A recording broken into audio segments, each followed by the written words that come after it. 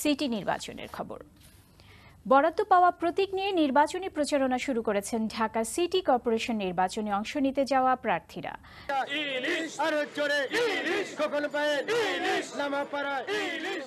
শুক্রবার প্রতীক বরাদ্দের পর শনিবার প্রচারণায় সকাল থেকেই ব্যস্ত সময় পার করছেন আওয়ামী লীগ সমর্থিত প্রার্থী সাইদ খোকন। ঢাকা নিয়ে পরিকল্পনা সম্বলিত লিফলেট বিতরণ করে নিজের পক্ষে রায় চান সাইদ খোকন। জানান দুই তিন দিনের মধ্যেই নির্বাচনী ইশতেহার প্রকাশ করবেন তিনি। পাশাপাশি বলেন নির্বাচনী আচরণবিধি মেনে চলতে তিনি সচেষ্ট।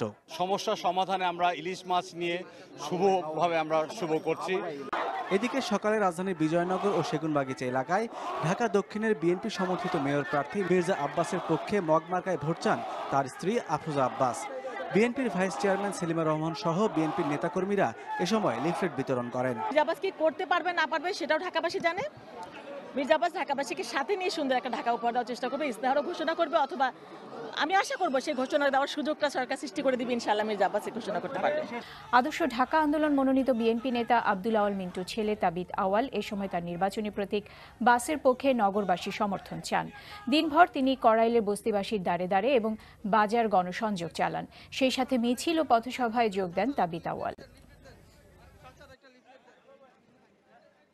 আমি প্রত্যাশার চেয়ে আরও অনেক অনেক বেশি সারা পেয়েছি।